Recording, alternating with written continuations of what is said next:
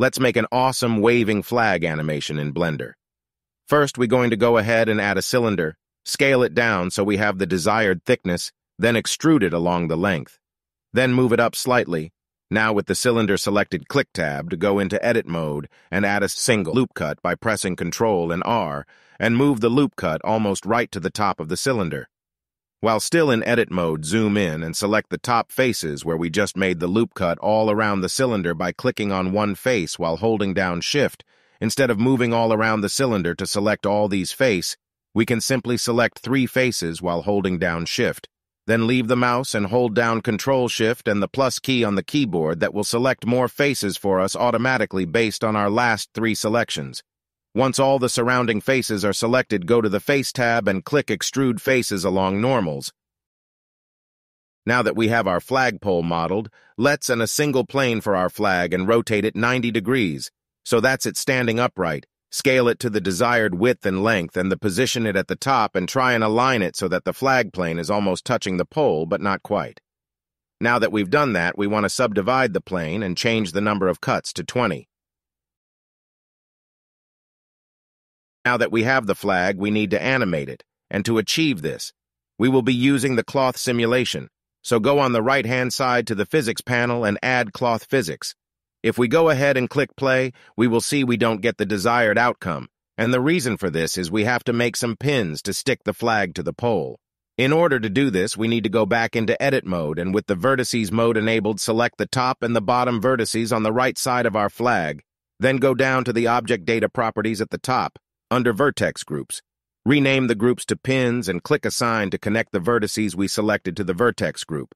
Then we want to go back to the cloth physics tab and scroll down to the drop-down called Shape and Underpins, click on that and select the vertex group we made earlier. We called pins. Now the flag should be connected and now we can hit play and voila, we have a working flag. But as we can see, the flag is intersecting with the pole. That's because we need to add collision physics to the pole in order for the flag to interact with it correctly. Next, go back into the flag's cloth physics and under. Object Collisions tab check the box that says Self Collisions. Now if we hit play, we can see it interacts correctly this time. Next, we can right-click and shade smooth, and also add subdivision surface modifier to give a smooth finish. But now another problem arises. The edges of the flag had been rounded due to the modifier.